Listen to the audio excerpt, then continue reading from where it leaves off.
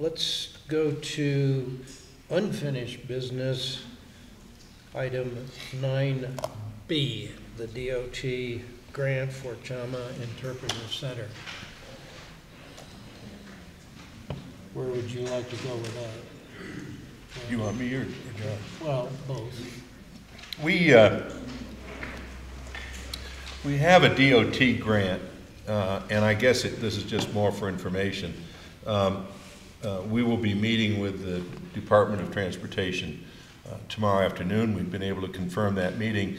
There is a concern that the, that the grant could be lost if some expenditure doesn't happen by a date that's within a week of today.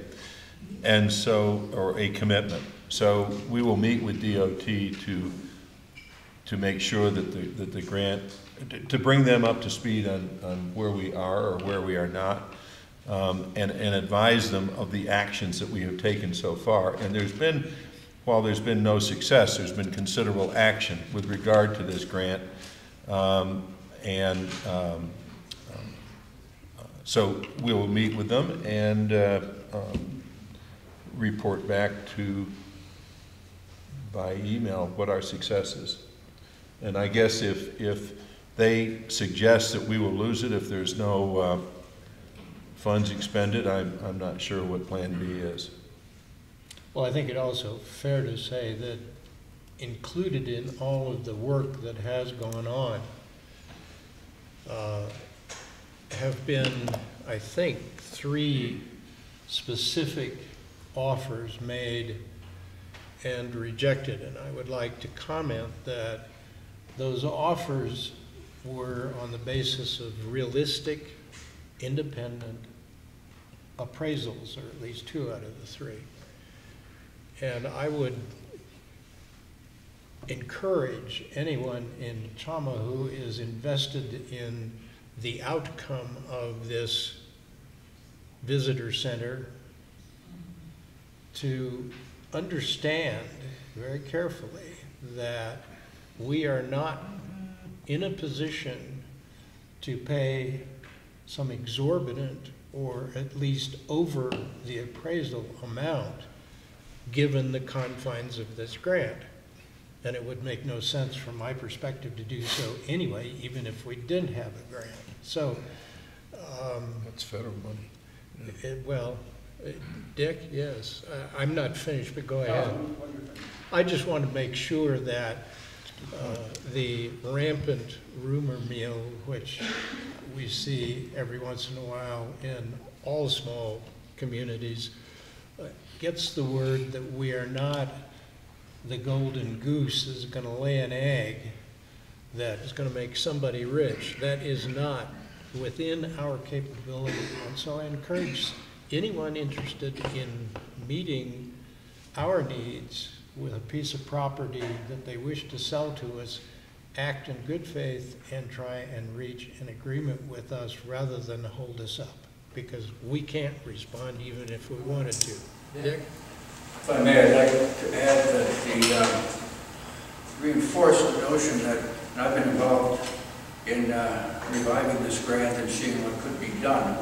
Uh, The Department of Transportation is very clear that under their rules, they have to have an appraiser acceptable to the Department of Transportation as to what price should be attached to any given property.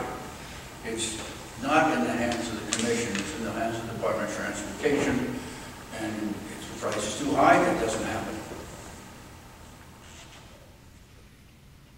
Yeah. Yeah, and I, I think, I, I, I- in, in discussing this, I don't mean to suggest that I really think that the funds are in danger of being lost, because generally the reason for this is they just don't want grants sitting there with no activity. And I think we're gonna be able to properly document that a significant amount of activity has occurred, just no success so far. So I think that's the mission, and that's all, Mr. Chairman. Very good. Sure. Do you have, do you have a property in mind? Several. Hmm? We, we've, we've had a couple of properties in, in mind. Um, Clearly, a, a property contiguous to currently owned land would be beneficial. And in fact, I think it was land that we originally owned and sold off. And every time, you know, you, you kind of go, geez, why did we do that? So, um, uh, I, those were the. Is that at ones. four eighty-three Main Street? I didn't mean that at all, Mr. Chairman.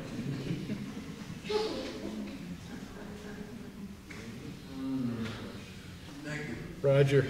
Randy, the effort of three offers, do you feel like, it sounds like what you're saying is you feel like that will help keep it alive and not be revoked or taken back? That's, that's my opinion. We'll know more tomorrow. Um, uh, And, and, but, but let me also state, as you point that out, uh, offers weren't made just to keep this alive. They were legitimate offers. Uh, We have, we have, we have paid for three appraisals and, and offers were made at or near the appraisal values. And these were, these were appraisals done by New Mexico approved appraisals, appraisers. And, uh, uh, and, and the offers were rejected. Thank you. Because I got a place right across the street that's for sale. Thank you, Jay. Thank you. Anybody else got anything for sale? You got a mo- motel for sale? Adding to the list. There you go. Roger's got a hotel for sale. The Cumbres and Toltec Welcome, and Billy's Hotel and offering- Welcome Center. Billy's offering to sell Main Street to us. so- Oh, Main Street's for sale? Okay, I think we've flogged this issue pretty badly. Um, No action required, just reporting. Just for information. Let's move to um, approve, disapprove commission funding for locomotive 68, 168,